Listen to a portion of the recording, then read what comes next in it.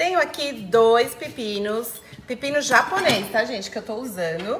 Pode vir ou com aquele boleador, ou vem com uma colherzinha mesmo e vamos tirando toda a sementinha dele. Por quê? A sementinha tem muita água. E para essa receita, a gente quer que ela fique bem crocante. E a gente vem e começa a cortar o pepino assim. E fica lindinho assim, né? Sem a sementinha, fica como se fosse uma meia-lua. E o segundo ingrediente aqui da nossa receita é cebola roxa. Tá vendo? Eu cortei ela bem fininho. E outra dica, gente, para cebola roxa é deixa ela de molho na água gelada, tá? Deixa ela aí mais ou menos uns 10 minutinhos antes de servir. Isso você vai garantir uma cebola super crocante e vai tirar aquele ácido. Eu vou colocar to tomatinho cereja cortado ao meio. Só tira a semente dele, tá, gente? A mesma questão do pepino, a gente não quer uma salada muito molhada. O outro ingrediente da nossa receita é abacate, ó. Esse daqui eu já descasquei. E eu coloquei limão para ele não escurecer aqui, que eu corto antes, né? Então a gente vem com abacate. Pode ser um abacate meio maduro, tá? Não precisa estar tá muito, muito maduro, senão ele vai ficar muito mole. E eu vou fazer o mesmo corte ali, ó. Cortei ao meio e depois em tirinhas aqui, né? Então já tá ficando coloridão, Olha, né? Bonito, hein?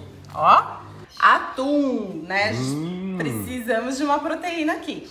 Então eu tô usando esse atum sólido.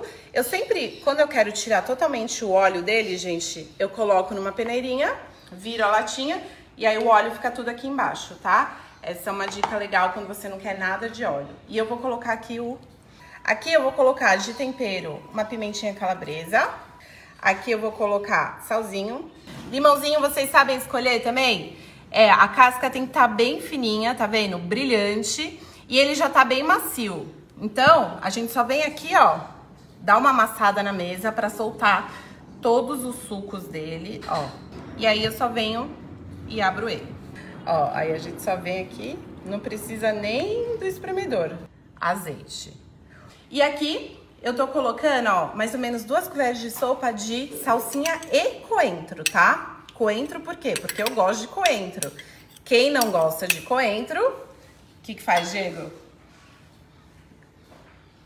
Não coloca coentro, né, gente? Aí coloca hortelã, pode colocar manjericão ou só a salsinha mesmo, tá? Já vai ficar... Olha que lindo! Tá muito bonito, muito colorida. Salada assim é bom demais, né? Aí, o que, que eu faria? Eu iria cobrir aqui e deixar na geladeira ali uns 20, 20 minutinhos para ela gelar e curtir bem esse tempero, tá? Mas como já estamos aqui, eu vou montar o meu prato. Ó, tá lindão, não tá? Tá lindo. Ó, ó, ó. Gente, isso daqui é muito bom.